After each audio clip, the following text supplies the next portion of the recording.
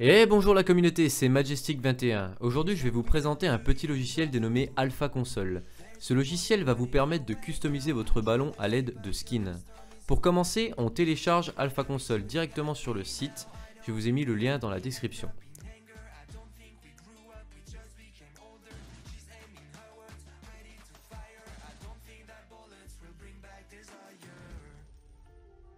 Ensuite, on ouvre le fichier et on l'installe.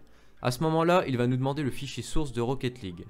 On clique ici, et pour ma part, Rocket League est installé dans ma SSD 2E.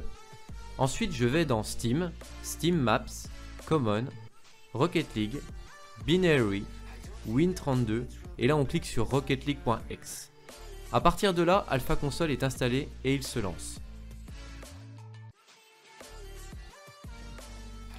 Comme vous pouvez le voir, nous avons de nombreuses options, mais aujourd'hui nous allons nous consacrer seulement au skin du ballon. On va donc cliquer sur Get Texture pour télécharger un skin de ballon.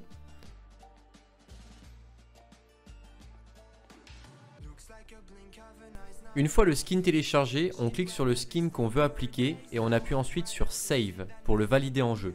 Vous n'avez plus qu'à lancer votre jeu et votre ballon a changé. Plusieurs skins sont disponibles, à vous de choisir celui qui vous plaît. Vous savez maintenant comment customiser votre ballon. Si cette vidéo t'a plu, tu peux liker et t'abonner si ce n'est pas déjà fait. A bientôt pour une autre vidéo. Ciao